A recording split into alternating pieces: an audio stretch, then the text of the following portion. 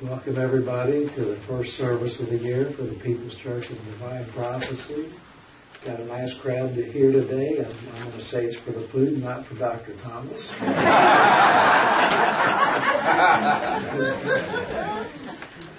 no, really, thank you all for making this a good first service of the year. I really appreciate that. Um, I'd like to have Bob light the candles to start the service, even though we sang the opening hymn already symbolizing the unity of body, mind, and spirit.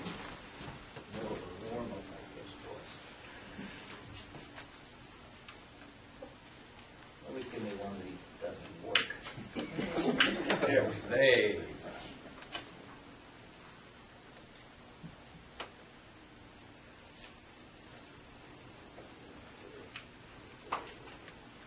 Thank you, God. Please silence your cell phones unless you're medical or law enforcement personnel. And I am Reverend Steve Adkins. Please stand for the invocation.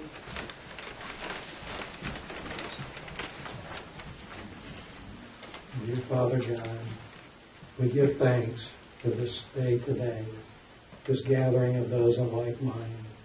May we all feel the peace of love and hope of spirit in ourselves.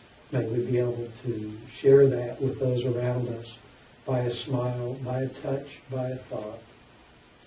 May we feel it multiplied as we do this. May we do this as we go forth from here today. We give thanks for love, hope, and peace. Amen. Please be seated. If you already sang the opening hymn, I'll just move along. Know there's people here that have deadlines, they have to be out of here by twelve thirty, so and out of respect for them, I'm going to move the service along. This portion's of reading by the pastor, something where I speak about something that's happened to me my past week, and I put it into a spiritual perspective through uh, discipline that I am trying to employ in my life. As I said before, I'm trying to take the written word, which is spiritual knowledge, and make it into wisdom, which is acting and practicing outwardly. What came to me was a saying, I, I remembered saying, that fear is a thin stream through the mind. If left unchecked, it becomes a raging torrent into which all thought flows. And this is exactly how we get unsettled with our spiritual beliefs and our spiritual discipline. It's not this shock that attacks us all at once. It's waking up a little bit in the morning, feeling a little bit off and feeling a bit frustrated or put upon. And then going out to make coffee and you spill coffee on the counter and you get a little more frustrated. Then something happens, you step in a puddle of dog pee or something, and that really sets you. So, and it was kind of funny, other- last night I was woke up, and we, we had to keep one of our Shar-Pei puppies because of medical reasons with him. And he's just a lovely little dog, but he gets to yipping in the middle of the night. And instead of getting frustrated, I woke up and I thought, what a wonderful thing to have such a nice house. I've got a loving wife in bed next to me, and I've got a beautiful new wife that needs my assistance. And that's how I looked at that instead of getting upset. But it is something that we have to be on guard against because that's how I become unsettled. There's little things at a time, not big things. Big things are easy to handle. You know, you just dig your heels in and just take both hands and stand against them. But the little things that just one step at a time until you're acting in a fashion you can't imagine you're acting in. So I ask you to think about these things. Combat frustration, which does turn into fear, which does turn into that raging torrent, which we can't seem to get out of. We find ourselves there unable to back out of that. What I do when I find myself confronted with this situation that I've managed to get myself into is I just stop and believe in the spiritual discipline that God is always there. God's God's wealth of peace is always there. So if you just take time and believe that without needing to reason it, then you become at peace. And just a moment of peace is all it takes and amongst all the frustration and all the difficulties. So think about this in the new year. My one of my commitments, which I haven't broken yet, is to always think of a spiritual principle in my life at the beginning of the day, at the beginning of frustration. Get that habit in your mind. As soon as I get frustrated, what else could I be thinking of? And to keep yourself from finding those times when you find yourself in the middle of things. Please stand for the next hymn, and Bob Johnstone, Reverend Johnstone will be running the service from here on. I'd like you to just take some nice deep breaths and really visualize your importance, your importance here today with your loved ones. Divine Creator, we give thanks for your presence. We give thanks for the wonderful gifts you've given us. And we give thanks for all those challenges you've given with us, to us. We look forward to the coming year with happiness and joy in our hearts. And we look forward to each moment of every day with healing, patience, and understanding. And we ask you to give us this grace and this service, and that the highest of the best will be with us. And as each of us seek the healing we require, we ask for that to take place. We give thanks. Amen. Thank you.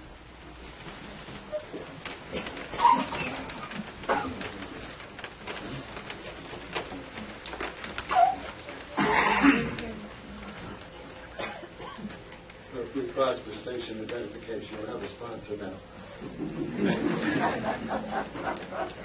Yeah, okay, I got you.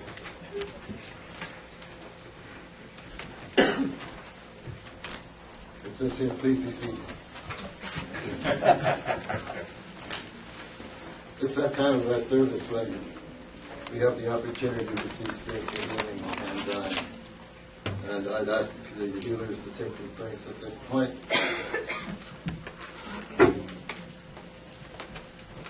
We have Anne, we have Rose, and we have Judy. Dr. Thomas will be ringing the bell, ringing the bell for, if there's an empty seat for the healing, so just the way you turn it, you have, we fill the seats now. As I begin the meditation, I ask you to take things off your lap. Place your feet flat on the floor.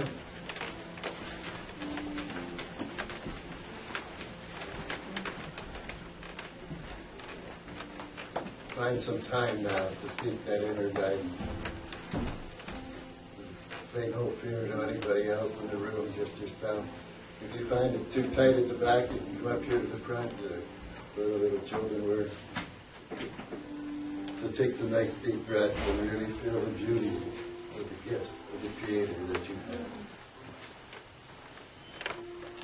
Take some nice deep breaths down deep. And feeling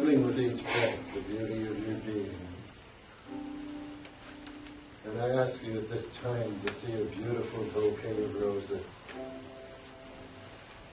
All different colors of roses. And just take in that fragrance at this time that they give out.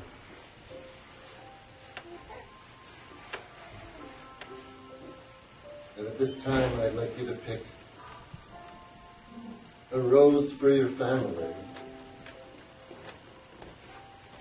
see your lovely family all around there. If there's any of those that have had problems,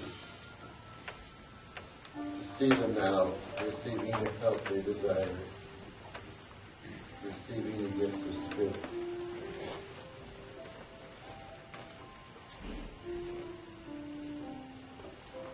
And be thankful for family. And as we move on now, I'd like you to see another rose.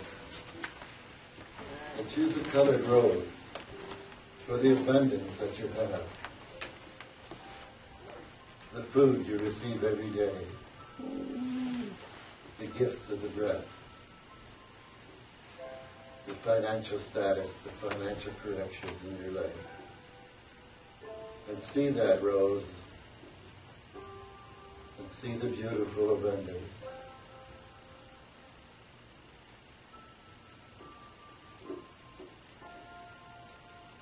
If you seek more abundance this year, to feel that coming from this beautiful flower that you've helped to grow and understand with your energy, as you do with the abundance you need.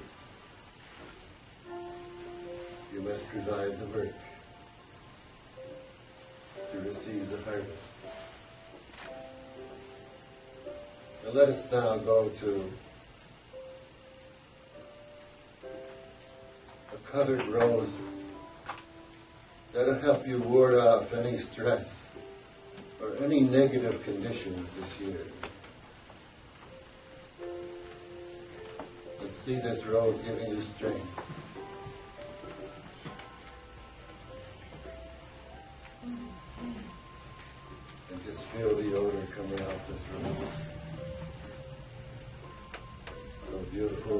Sunshine into your life and feeling the color yellow.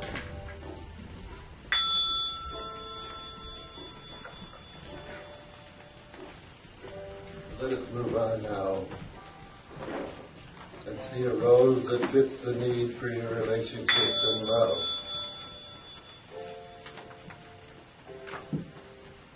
Also, there's healings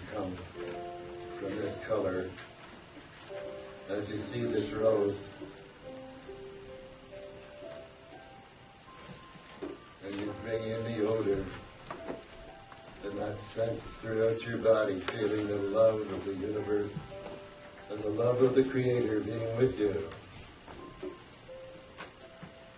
And just hold on to this rose. Hold it in your hand. And feel all of your loved ones around you. Working with you at this time to better your life. To feel more comfortable with who you are. Oh, what a beautiful gift. The gift of love of the self, the gift of love of the Creator.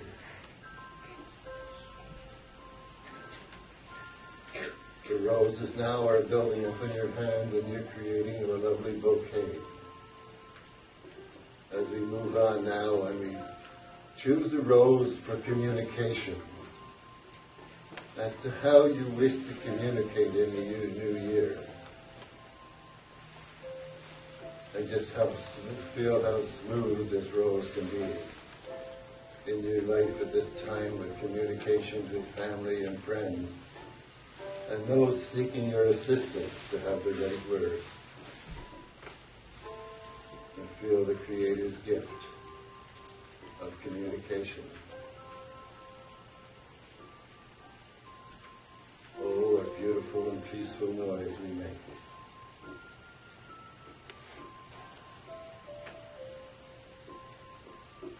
As we move down, we place this rose in our bouquet. All of that within our hands. As we see the gift of clairvoyance and psychic abilities and a feeling for others, we see the third eye. And we choose an indigo color rose. Sense of smell. Allowing us to feel for those who hunger and thirst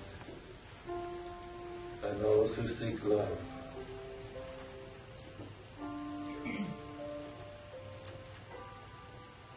Allow us to truly touch others with just our being. And again, place this beautiful rose in your bouquet. As we come to pick the last rose of our being and of our creation.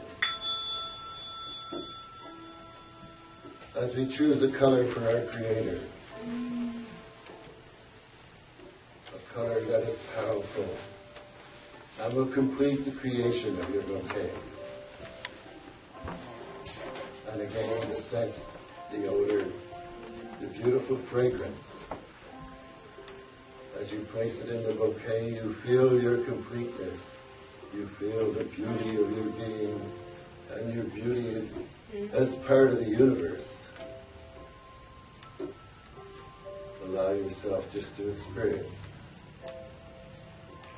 that time of knowing that you are that beautiful bouquet of a sacred flower, a bouquet of love and understanding. And allow this to be the focus of your whole being of love.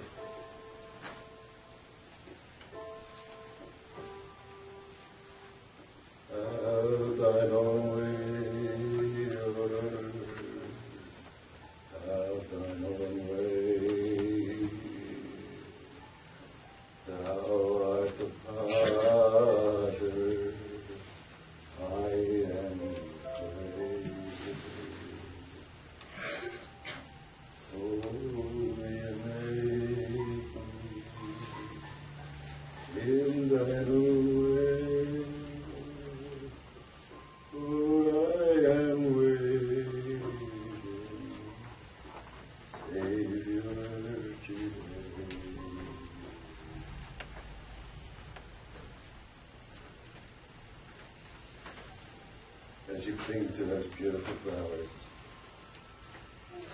I'd like you to visualize that they're part of your full being. And you have the ability to be whatever you want to be in this life. Serve your Creator as best you can. And show those beautiful flowers.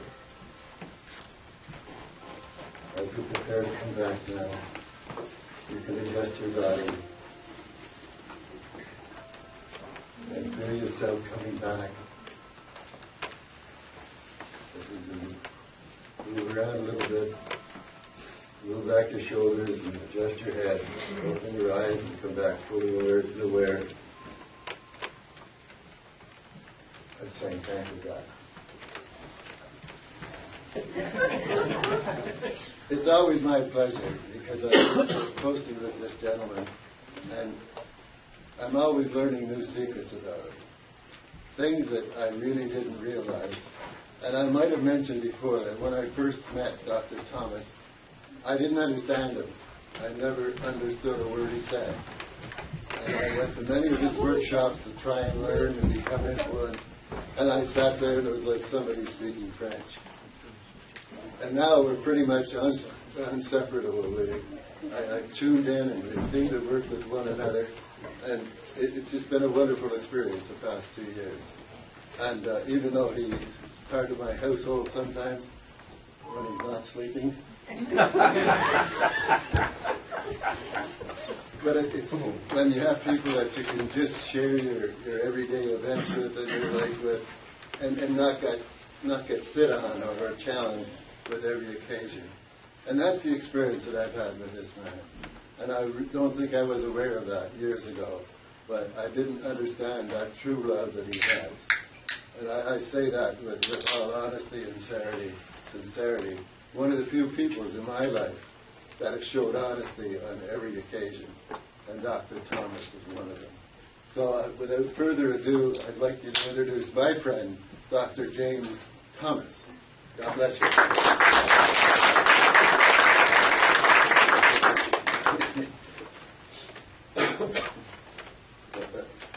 Morning, giving honor to our pastor. It is a pleasure to stand up here. And Steve, I guess we have to start kindergarten.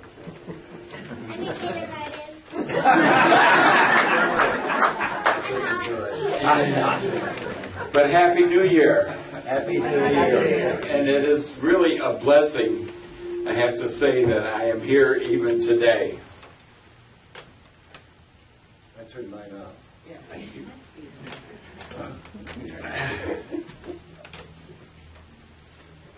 I can do something right.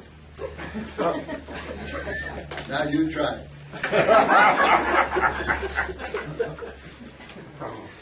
I've chosen and I spoke on the Lord's Prayer. And I don't know how many of you say the Lord's Prayer. But the Lord's Prayer has great meanings. And how many of you know about your energy centers, your chakras? Raise your hands if you know about your chakras. Oh, thank you, God.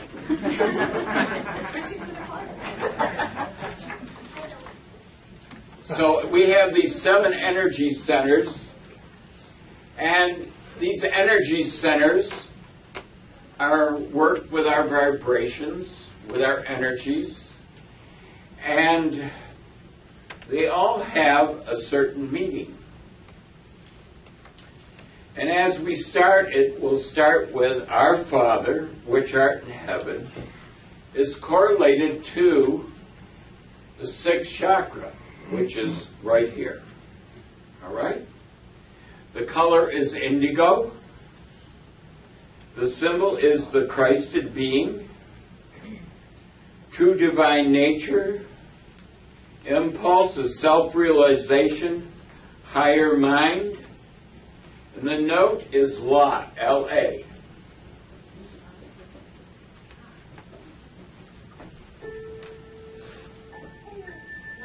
La. All right, so if you concentrate on that musical note, what it's doing, it's opening up your third eye and bringing about more clairvoyance, more clear seeing for your own self.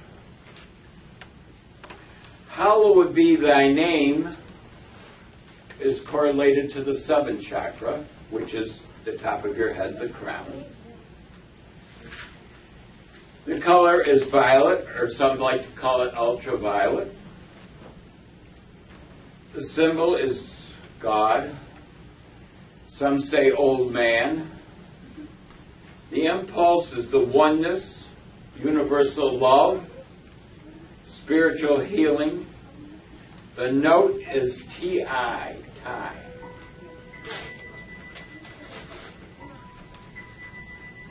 If you listen to the note, you can feel that vibrate at the top of your head. The planet is Jupiter. And it is the opening, is the silence. And when we open up this energy center, we go truly into the oneness or into the silence.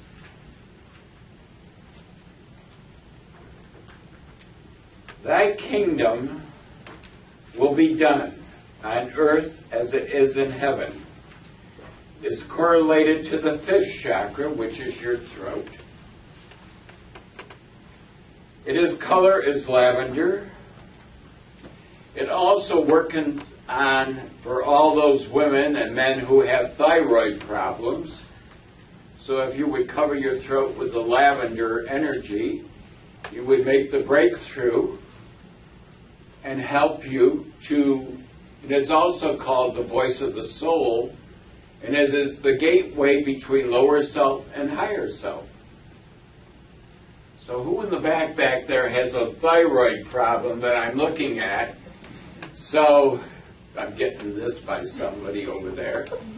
But it would help you to concentrate on lavender and raise up your vibration and help heal that energy center.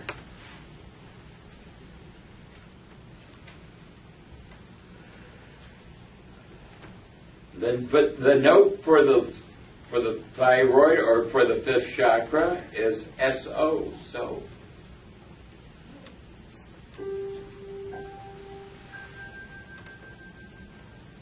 Do it again. Okay? So when she's playing that, you should feel a vibration in this area if you just concentrate. The planet is Uranus.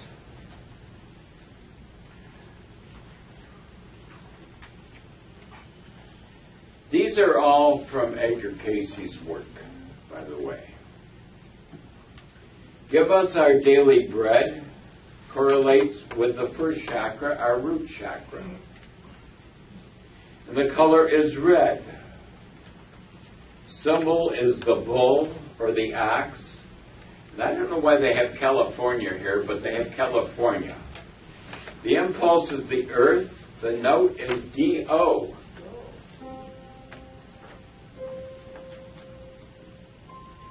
So concentrate on your root chakra for just a minute as she plays that note. You can feel the energy.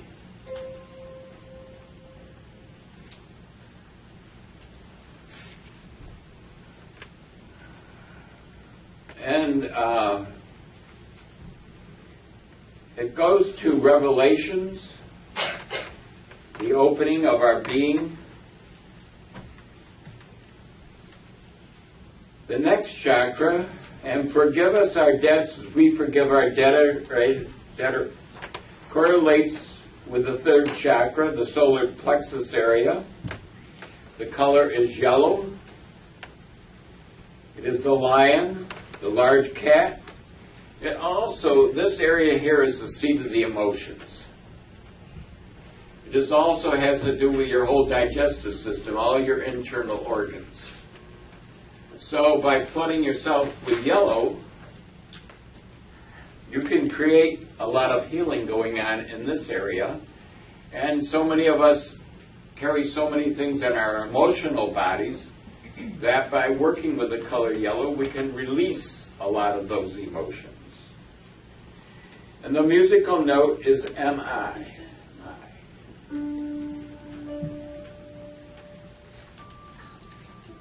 So just listen to the note for a minute. Concentrate on yellow. And the planet is Mars.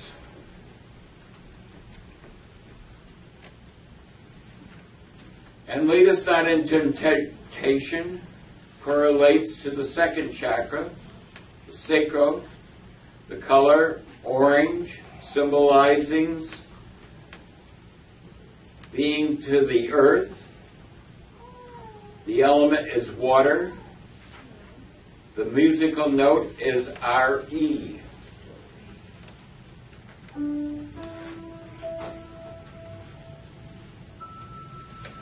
So if you listen to the musical note, it's activating your spleen.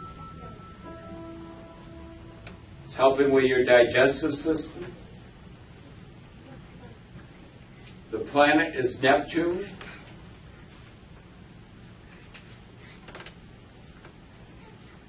But deliver us free from evil correlates with the fourth chakra, the heart center. The color is green. Symbol is the eagle. The element is air. The impulse is human love. Healing. The note is FA.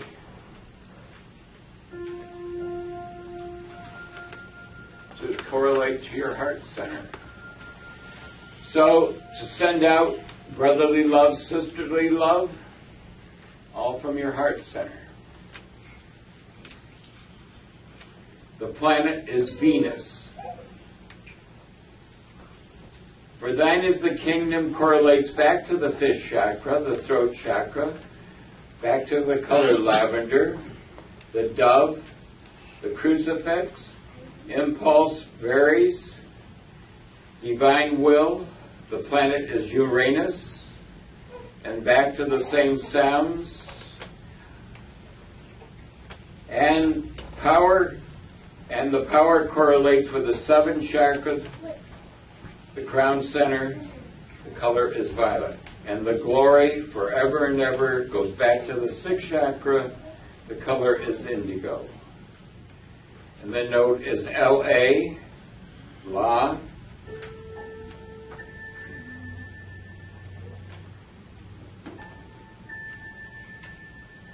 So we have gone through all of your centers of your body with the notes. So for some of you, this should help you in your healing work because healing is one of the most important things that we have.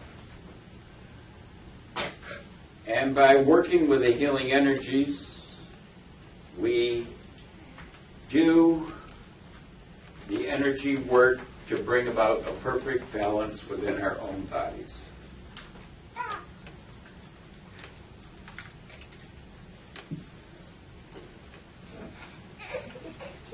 Bob's looking there and saying, what are you going to do next? well, just to bring a little humor into this room, all right, and to make everybody laugh, it's one of those things that uh, I like to do is to make everybody laugh and to have fun. So I did this in Cassadaga, and that More importantly, we're doing it here. But Bob doesn't have his phone turned on. Just imagine I have my phone turned on. Just imagine that Bob has his phone turned on and it rings. All right, ding-a-ling-a-ling. Yes. Oh my God, it's God. Okay. hmm This is very interesting. As just the other day, I was telling someone that I have conversations with you, and here you are. Well, now that I have you on the phone, I have a special question for you, and I'm going to. I'm going to find that special some. When am I going to find that special someone? Robert, Robert, Robert. I am here for your soul growth, Robert, not for your love life. Okay, okay, I get it. My question is this Why do I have so much fear? What do I do about it? What's happened to my love life here?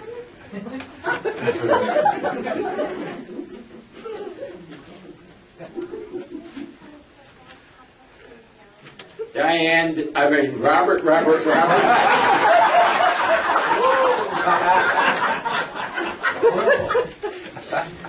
there is no fear, Robert. For in the Bible, 365 times it says, Fear not, for I am always with you. So you should have no fear, for you are never alone. I am always with you, Robert.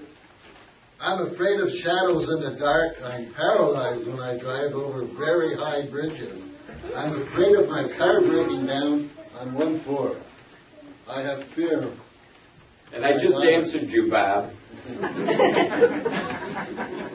Fear not, Bob. Where are doing a job. Everybody's laughing. Where are you? Here. I think you're on the different pages. I always have a babysitter, believe me. okay, okay, I get it. My question is this. Why do I have so much fear? I already read that, Doc. I know you're down to here. You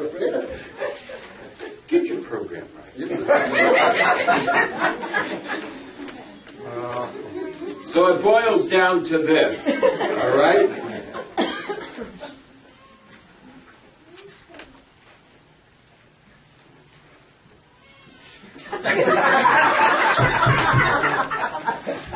Why, yes, it actually does. I get it. I do. I do have other questions, though. What is this thing we call Christmas? See, and I wasn't supposed to speak about Christmas, all right? So I did it this way. Robert, it's a myth, it's a fable, it's a story. Yes, there was a great man born, but it was not born. He was not born in December. He was actually born in March. He is a Pisces. Yes, known to us as the Christ. He is a miracle worker. He's a healer. He's a prophet, just like you, Robert, and everyone here in this congregation.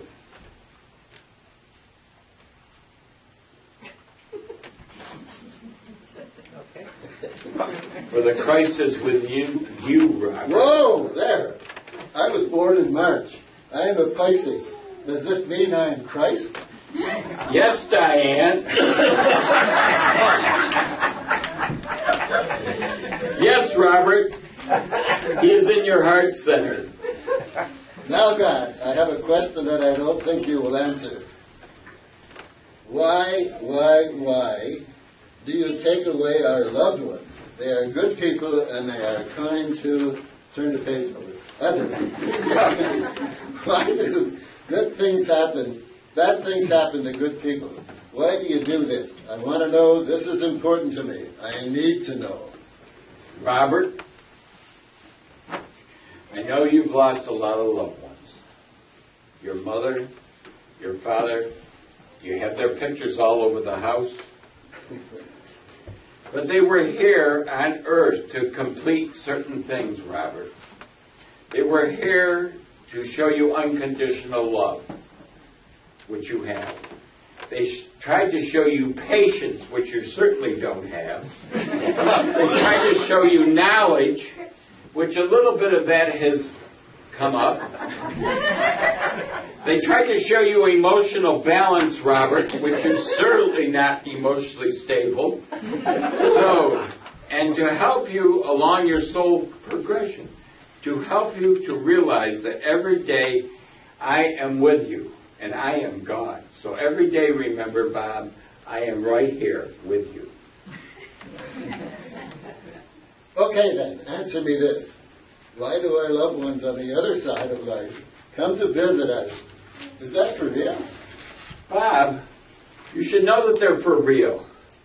They come to help you, first of all, in your soul progression. They're here to help you to know more about the continuity of life and to understand, especially, Bob, your being here on this planet to show unconditional love. That doesn't make sense. Thank you, God, for all the information. May you truly be blessed with this. Con- May you truly be blessed, blessed, Bob, along with this congregation, and with the holiday season. We wish you all a very happy holiday season and a happy New Year. Thank you, and God bless you.